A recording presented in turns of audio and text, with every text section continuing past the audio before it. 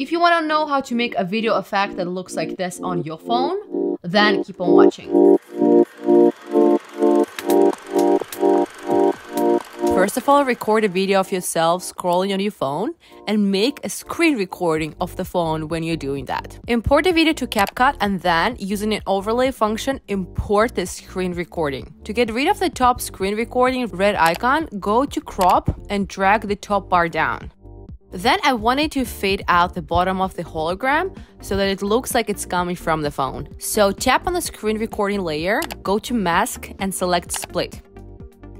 This line controls how much of it is shown, and by dragging down a circle with two arrows, you control the smoothness of the fade.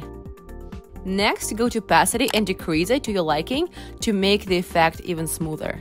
Then I wanted to make the hologram appear from the phone and then follow the phone when it moves. To do that, we'll use keyframes. First, find a spot when you want a hologram to stop zooming in, adjust its position to the phone and select a keyframe. The first keyframe is created. Now go to the beginning of the video and make the hologram layer super small. So tap on the screen with two fingers and drag them inwards. The same as if you were zooming out on a photo on your phone.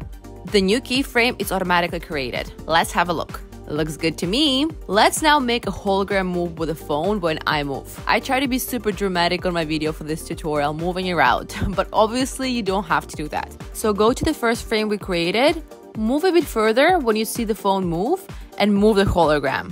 The third frame is automatically created. Do it as many times as you need. Usually the more keyframe you have, the smoother the result will be. And that's it. Let's see the final result. If you want to know how to make a video effect that looks like this on your phone, then keep on watching. And that's it. I hope you found this tutorial helpful. If you did, please give this video a like because it really helps me grow my channel. And please also give me a follow if you want to see more smartphone videography tutorials and tips and tricks. See you soon.